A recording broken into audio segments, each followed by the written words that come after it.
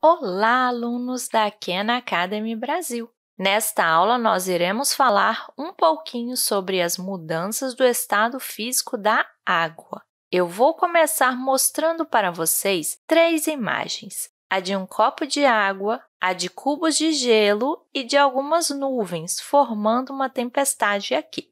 Eu vou fazer para vocês algumas setinhas. A setinha, então, da água indo para a nuvem, da nuvem voltando para a água, depois do gelo indo para a água e da água voltando para o gelo, e da nuvem indo para o gelo e do gelo indo para a nuvem, ok? Desenhei as setinhas aqui. Agora, a gente vai começar a completar essas setinhas. E a primeira coisa que a gente vai falar aqui é o processo de derretimento do gelo. O gelo aqui, que é a água no estado sólido, este é um processo super comum que a gente vê. É só você tirar do congelador os cubinhos de gelo e deixar em cima da mesa da sala que você vai ver que ele vai derreter rapidinho. Esse processo é chamado de fusão.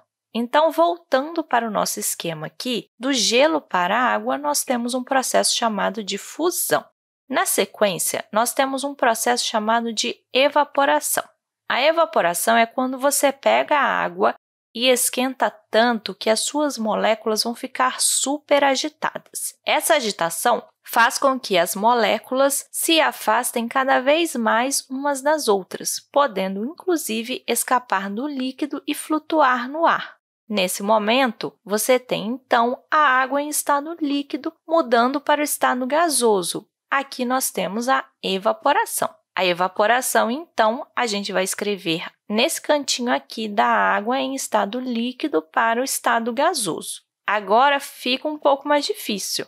E quando a água vai do estado gasoso direto para o estado sólido? Vocês já viram isso acontecer? Eu vou mostrar para vocês um exemplo.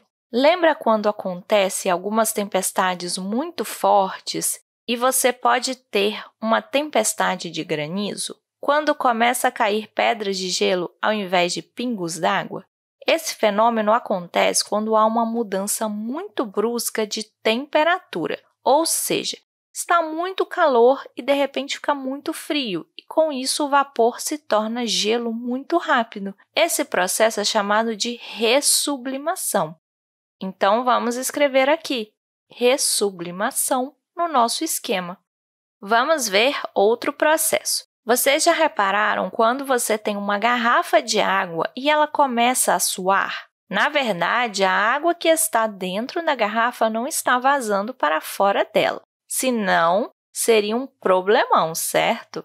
O que acontece é que, nesse caso, a garrafa está tão gelada por conta da temperatura mais baixa da água contida nela que as partículas de água em forma de vapor que estão no ar e estão próximas à garrafa começam a ficar mais frias e a se juntar e mudar para o estado líquido. Esse processo é chamado de condensação ou liquefação. Você também pode ver esse processo quando está num ônibus lotado ou dentro de um carro e os vidros começam a embaçar. Você já viu isso? Pois é, sabe de onde vem a água que fica embaçando o vidro? O processo é o mesmo. O vidro está mais frio porque do lado de fora está mais frio, mas o interior do veículo está quente. Tem muita água em formato de vapor dentro do carro.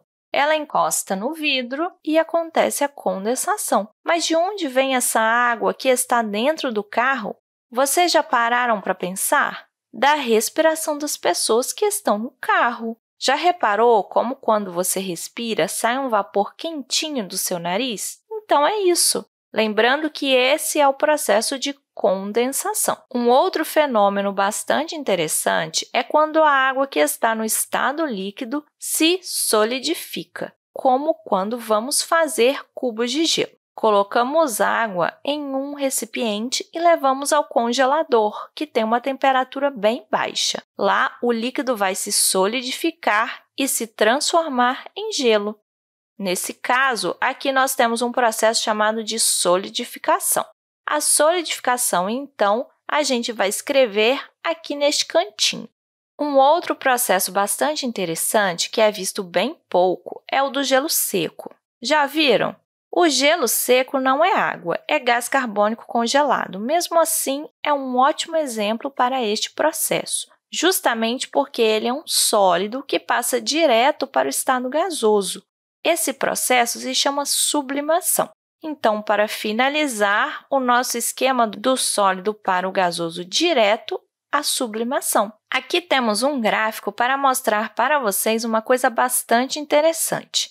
A água é encontrada na forma de gelo, que é seu estado sólido, em temperaturas muito baixas, abaixo de 0 graus Celsius. Quando a temperatura fica igual a 0 graus, o gelo começa a derreter. Quando o gelo está derretendo e virando água líquida, a temperatura não muda, fica o tempo todo igual a 0 graus Celsius. A temperatura onde acontece essa mudança de estado é chamada de temperatura de fusão ou ponto de fusão. É isso que mostra essa reta aqui do gráfico.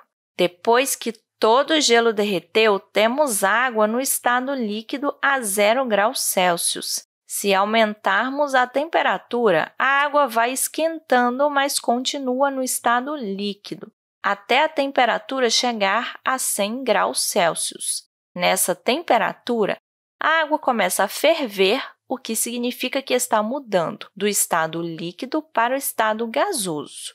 A temperatura aqui não muda até que toda a água esteja no estado gasoso, ou seja, ela vai ficar a 100 graus Celsius até que toda a água líquida desapareça, transformando-se em água no estado de vapor.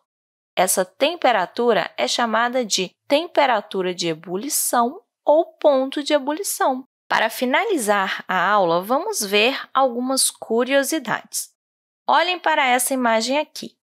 Ela mostra uma geleira que está em cima da água. Vocês não acham um pouco estranho que o gelo ele sempre fica em cima da água? Acontece que a água tem uma propriedade diferente dos outros materiais, porque quando ela fica em estado sólido, ela cria pequenos cristalzinhos de forma hexagonal, com seis pontinhas, tipo aqueles cristalzinhos que a gente vê em desenho animado, sabe? Então, esses cristais, quando se juntam, deixam muito espaço entre eles, e esse espaço é preenchido com ar. Logo, quando o gelo é formado, na verdade, fica menos denso do que a água, porque ele tem esses cristais e esse ar em volta. Então, ele vai ter um volume muito grande, mas ele vai ter uma densidade muito baixa, então o gelo vai flutuar. Viu que legal? Espero que tenham gostado da nossa aula de ciências. Até a próxima!